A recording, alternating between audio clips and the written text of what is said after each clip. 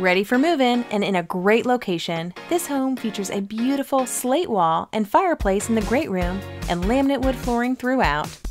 The sizable master suite downstairs includes a jetted soaker tub, a separate shower, and a walk-in closet. Upstairs has three spacious bedrooms with generous closets, a separate full bath, and an additional living area. Make this home yours with Rebecca McMillan.